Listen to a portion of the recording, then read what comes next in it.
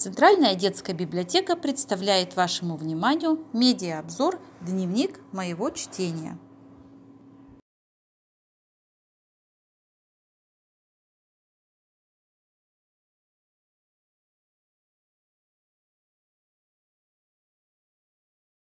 Что может случиться с командой гномов, отправившейся на ралли Париж-Каркар?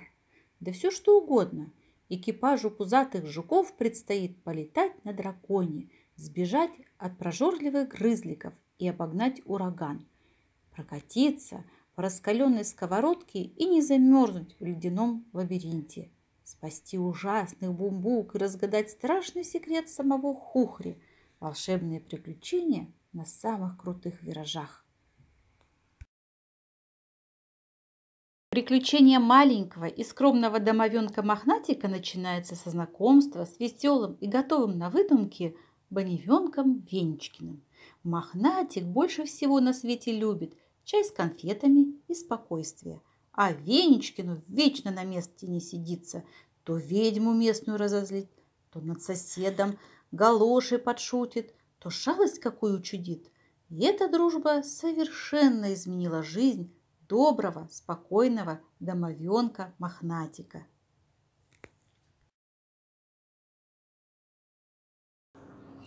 Замечательная серия про приключения учениц Академии грез идеально подойдет девочкам, которые уже выросли из сказок, но все еще любят волшебство. Книги этой серии станут прекрасным подарком тем, кто обожает мультфильмы про учениц Академии грез. Каждая ученица обладает своим характером, неповторимым стилем и уникальным талантом.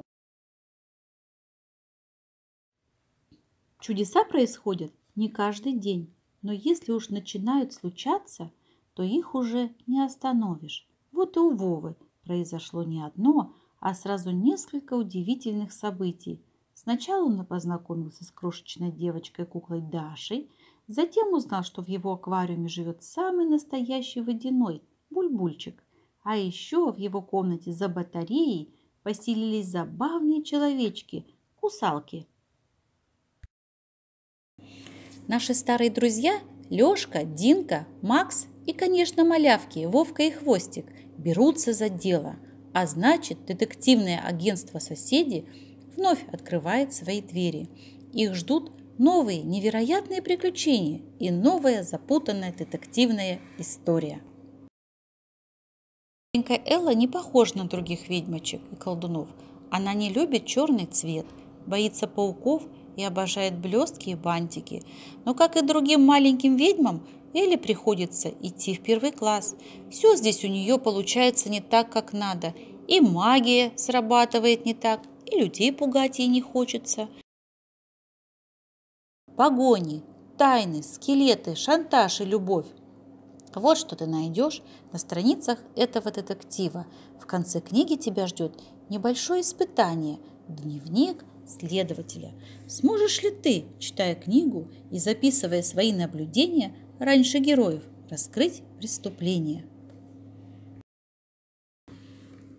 В доме номер 148 переполох. В связи с пополнением семья Лапшовых переезжает в квартиру побольше – а по соседству с Сергеевыми теперь будет жить загадочная дама с чучелом крокодила. Иван Лапшов и Стася Сергеева оказываются невольными участниками погони за новым жильцом, тетей Матильдой, которая замышляет что-то недоброе вместе со своим знакомым Вальдемаром.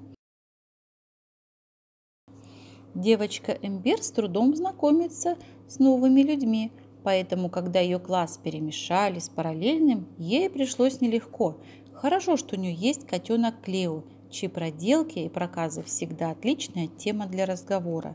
Но кто бы мог подумать, что именно новый одноклассник поможет Эмбер в поисках потерявшегося Клео. Совиный волк – трогательная повесть о жизни на крайнем севере, о полярной ночи, холоде и одиночестве – и о том, как найти в своем сердце любовь к этому пустынному краю.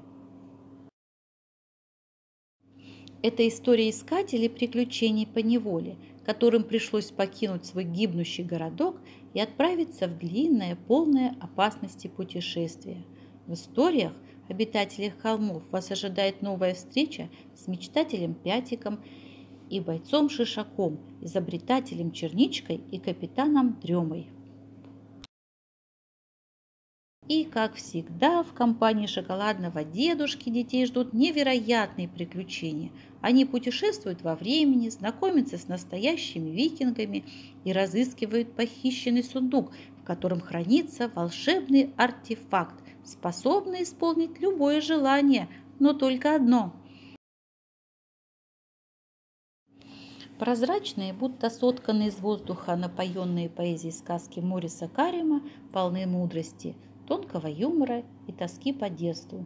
Ведь только ребенок может поверить в то, что в пустой банке живут рыбки.